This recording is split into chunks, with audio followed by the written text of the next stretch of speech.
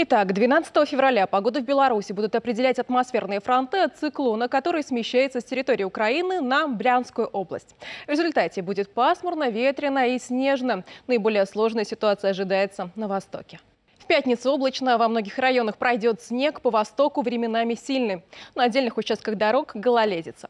Влажность до 80%. Ветер северный, северо-восточный, порывистый. Ночью по востоку, утром и днем на большей части территории сильный порывистый. Метель. На дорогах снежные заносы. Атмосферное давление существенно не изменится.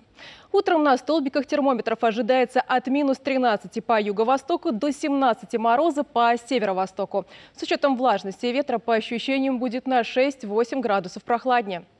В середине дня от 13 градусов ниже нуля по Брестской области до 16 мороза по Витебской. В столице ожидается 15 градусов со знаком минус.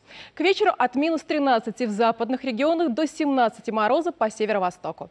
В субботу сложные погодные условия. Облачно днем с прояснениями. На большей части территории ожидается снег. Метель. Ночью и утром по юго-востоку пройдет сильный снег. На дорогах снежные заносы.